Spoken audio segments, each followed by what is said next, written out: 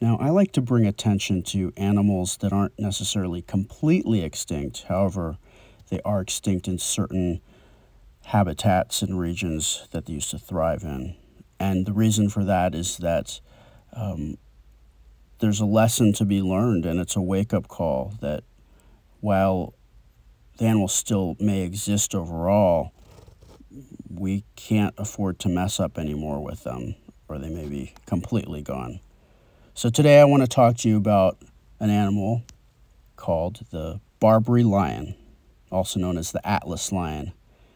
And these creatures roamed the mountains of Morocco all the way to the deserts of Egypt 100,000 years ago, all the way up through the 1960s um, when they were fully eradicated by hunters that were hired by livestock herders in the Atlas Mountains.